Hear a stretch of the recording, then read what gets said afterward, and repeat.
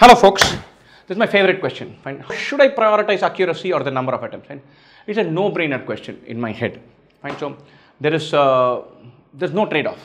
You can't prioritize one over the other. Fine. One of, my, one of the TV series I watch, uh, which I'm a big fan of, is this thing called West Wing.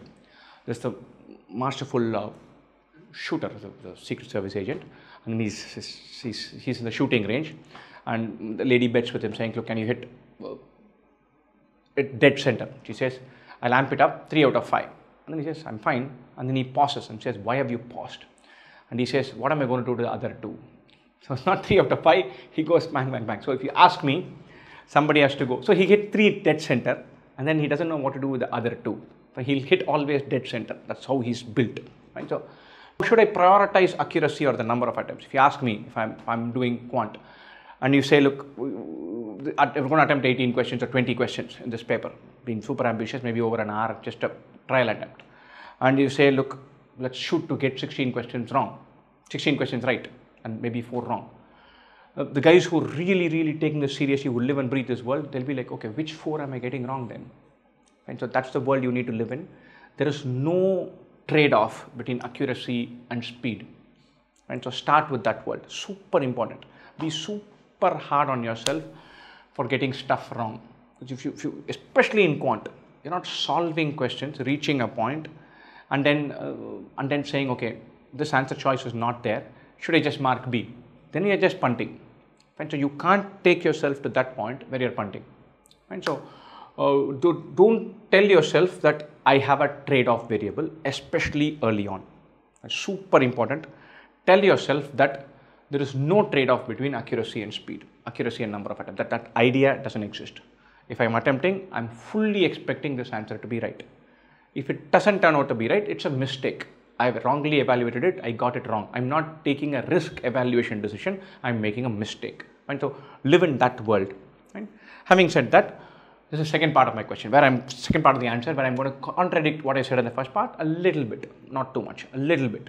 And so this speaks to the idea of risk taking. And so it's a very, very uh, pet idea of uh, Jatin, a colleague. He says, look, the guys who can afford to take risk are the guys who have a high level of competency.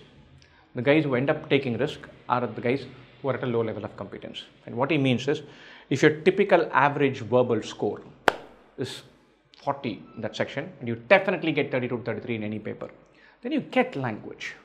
Then when you're saying it is between A and C, it is definitely between A and C. And then if you further say, my gut feel is it is C, then there's a 75% chance that it is C. At that situation, it is absurd if you don't mark C. Because you mark 10 such C's, you're getting 7 or 8 right, and that's a flying score. And so, the better and better you get at a section, the more your gut feel is for taking that little bit of chance and build that. You have to build that over time.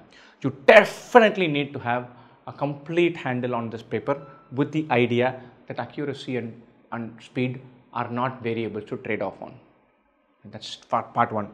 After that, once you reach a place where you have a good handle and say, look, I, I, I think I got this, then you can say, can I take a little bit more risk? Even there, I would argue, at least I used to do this for all my mocks when I was preparing as a, as a student. I would attempt papers and then I would say, look, in verbal, I attempted 28 questions, 22 confidently, 6 were punts. In DI, I attempted 21 questions, 16 I'm sure of, 5 were punts. And I would assess my accuracy with two variables, two parts. First ones were what I fully believed were right, and second part was what I, where I was taking a chance on. If my fully believed was right, accuracy is upwards of 90%, I'm happy. This can fall either way. One mock can go totally your way, one mock can go totally against you. So you'll have to break down and evaluate your risk. But if you reach a level of competence where your system can stomach that risk, then you should take that risk. It pays off. It pays off on an average. It'll pay off on the day. You should hope it pays off on the day. You cannot be completely risk averse and say I'm not taking any chances because then you're leaving something on the, on the table. But starting point being, look, I'm, I'm having a trade-off. More I attempt, the lesser my accuracy. Somewhere is a magical variable. It's a wrong way to approach it because then you're attempting questions without a clear idea of are you attempting it to get the mark or are you attempting to increase the count. And so that is super important. Don't think these are trade-off variables. And so one, uh, one path on the journey, according to me, when you're taking mocks is to have one zero error mock. One mock where you say, I'm going to attempt as few questions as I need to, but I'm not getting even a single question wrong. If you're getting five questions in logical reasoning, four in quant, one RC passage where you're leaving one question and two more verbal questions. So five, five, four. 14 questions is all I'll attempt. And but all 14 are right. I'm getting 42. That's magical. One time you see a mock score where all the questions you've attempted are right. There's a switch that flips on and says, okay, this is the ball game. I shouldn't get errors. That's just a waste of time. And then you shift tack and then, then you can take risk and measure that risk and plan accordingly. So do a bunch of mocks where you think there's no trade-off, where you're very focused on accuracy. Get a focus on getting having one zero error mock somewhere and say, look, you sit and camp and get a zero error mock into your system.